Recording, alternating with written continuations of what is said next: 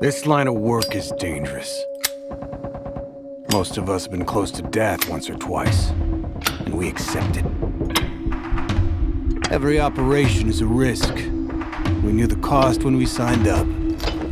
Hell, some of us joined just for that. Big fucking hole! Coming right up! There's only one kind of unit you can send in when you need to unleash some chaos. That's us. They say when you read a report from Redhammer, you shouldn't look at the details too close. If you had the stomach for the kind of work we do, you'd be on the field with us.